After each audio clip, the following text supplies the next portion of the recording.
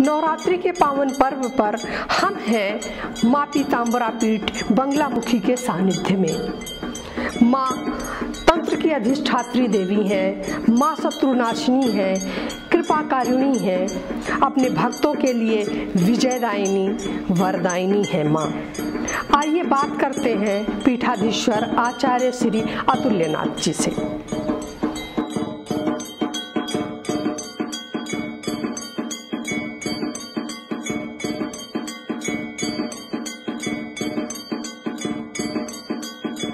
Actually ये धरती का मतलब दिल्ली का वायु कोण है। तो एक्चुअल तो प्रवेश द्वार यही है। दिल्ली में जब प्रवेश करते थे तो पानीपत से दिल्ली का ये रास्ता होता था। जब मैं यहाँ आया तो ये जगह मुझे कुछ ऐसी अनुभव हुई, अद्भुत महसूस हुई, और यहाँ लोगों में एक किवदंती थी कि ये दैत्यगुरु शुक्राचार्य की भूमि है, दैत्यगुरु शुक्राचार्य की भूमि, इस तरह की चर्चाएँ थी। अचानक जब यहाँ आया तो कुछ ऐसा कुछ अद्भुत हुआ कि मैं जिस शिला पर बैठा, जिस पत्थर जो पड़ा हुआ था जहाँ बैठा, वहीं से कुछ दृश्य मुझे कुछ ऐसे अनुभव दिखाई दिए, जिनके कारण ये निर्णय लेना पड़ा कि जहाँ भगवती राज राजेश्वरी यानी बगलामुखी पीताम्बरा की स्थापना होनी चाहिए। और यही उद्देश्य जो है थोड़ा बड़ा हो गया। हालाँकि ये मंदिर आसानी से नहीं बना। इस मंदिर को बनाने के लिए एक तो क्या तीन फुट पर चार फुट पे जल था, पानी है। तो जब भी इस दीवारें खड़ी करें दीवारें गिर पड़ें, छत डालें तो छत गिर पड़े। बहुत परिश्रम हुआ, पैसा भी बहुत खर्च हुआ, शिष्यों का भी परिश्रम बहुत लगा। बहुत सारा कष्ट के बाद जाकर यह मंदिर निर्माण हुआ। यही सबसे बड़ा अनुभव है।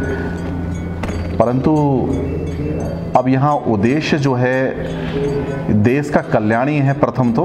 प्रथम तो उद्देश्य जो है, कल्याणी है। और लोग शत्रु से पीड़ित हों, कर्ज से पीड़ित हों, या रोग से पीड़ित हों, उनके समाधान हेतु ये यहाँ मैंने इस आश्रम को, इस मंदिर को, इस मंदिर परिषद की व्यवस्था बनाई और की एक्चुअल यही उद्देश्य था। या कहें कि भगवती ने स्वयं जागृत होकर ये स्थान बनवा लिया, ये भी संभव है।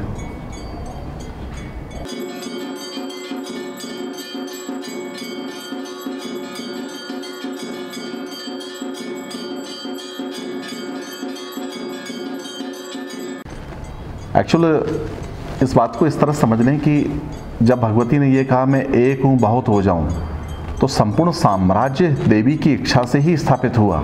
सृष्टि का उदय भी देवी की इच्छा से ही हुआ, उत्पत्ति भी देवी की इच्छा से हुई और बगलामुखी स्थिर विद्या है, स्तंभन विद्या है। एक्चुअल अगर हम शास्त्रों को ठीक से पढ़ें तो ये पता लगता है कि गर्भ धारण जो होता है, वो भगवती की इच्छा से होता है। तो संहार, उत्पत्ति और गर्व, ये तीन जो व्यवस्था हैं, जो त्रिकोण की तीन रेखाएँ हैं, जहाँ ब्रह्मा, विष्णु, महेश मौजूद हैं तो ये तीनों व्यवस्थाएँ जो हैं अपने आप में अवस्थित हैं और जिस वक्त भगवती राजराजेश्वरी की लोग साधना कर लेते हैं, या सिद्धि प्राप्त हो जाती है, या पुरुषण पूर्ण हो जाता है तो एक अलग प्रकार का अनुभव होता है। व्यक्ति ना चाह कर भी राज्य से जुड़ना स्टार्ट हो जाता है।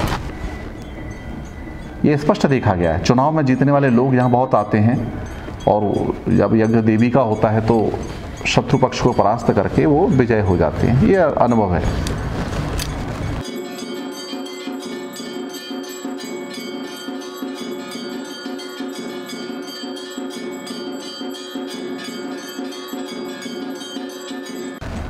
देखिए, देवी, देखिए, मनुष्य की तीन मूल समस्या हैं, शत्रु, रोग और कर्ज। और ग्रस्त तो सबसे ज़्यादा पीड़ित हैं समस्या से। शत्रु से भी पीड़ित हो जाते हैं और रोग से भी ग्रस्त हो जाते हैं और कर्ज भी। तीनों ही इन समस्याओं का निदान ही बगलामुखी है। आप समझ लीजिए कि लोम रूप में भगवती राजराजेश्वरी है और विलोम रूप में यही देवी जो राजराजेश्वरी है, वही बगलामुखी है।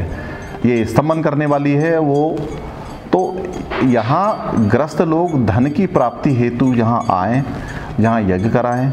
शत्रुओं का समन हो, रोग का शमन हो, कर्ज से मुक्ति हेतु भगवती बगलामुखी की उपासना, पूजा, प्रयोग, ये विशेष है।